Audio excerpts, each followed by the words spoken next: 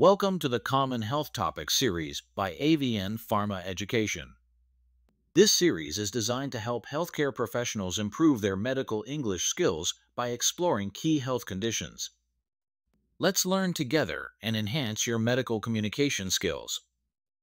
In today's episode, we'll be discussing tinnitus.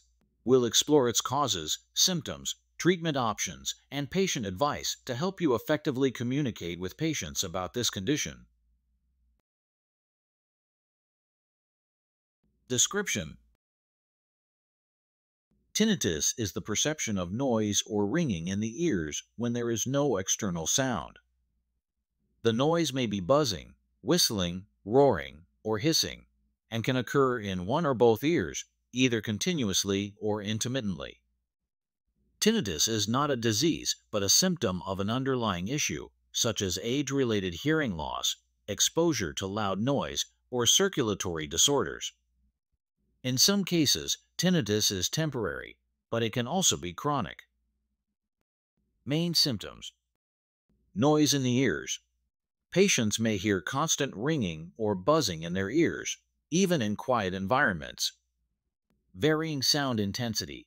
The tinnitus sound may vary in intensity from mild to severe and can disrupt daily activities. Ear discomfort. In some cases, tinnitus may be accompanied by a sensation of pain or discomfort in the ear. Hearing loss. Tinnitus is often associated with hearing loss, especially after exposure to loud noise or ear trauma.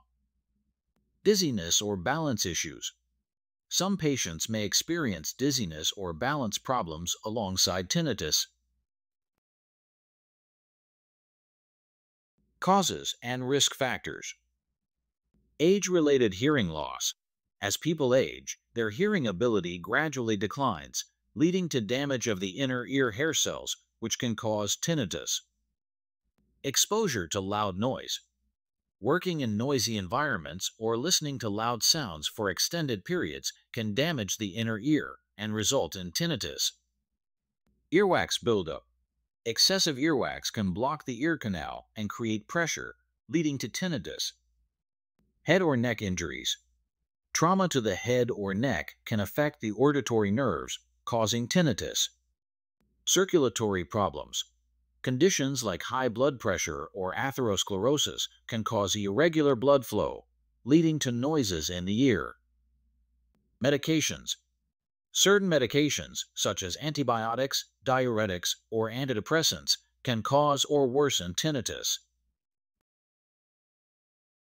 Treatment options. Treating the underlying cause.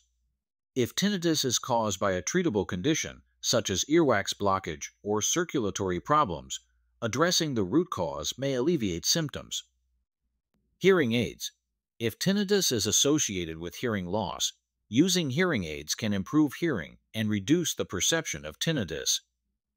Cognitive Behavioral Therapy, CBT. CBT is a psychological therapy that helps patients manage tinnitus and reduce the distress or anxiety associated with the condition. Sound therapy devices.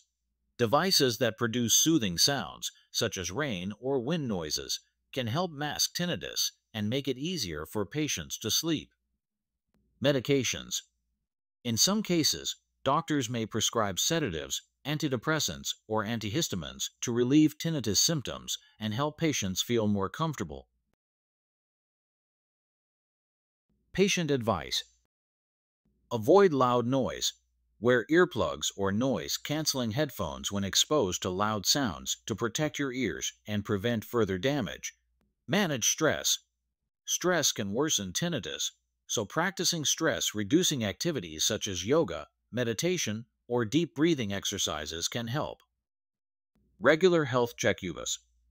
Visit your doctor regularly to monitor and treat underlying conditions such as high blood pressure, circulatory disorders, or ear problems. Limit the use of tinnitus-inducing medications.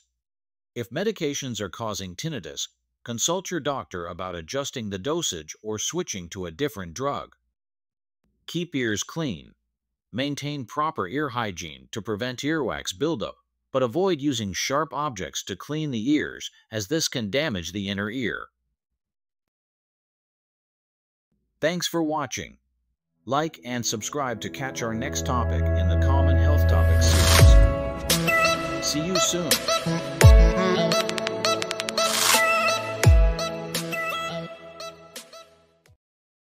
AVN Pharma Education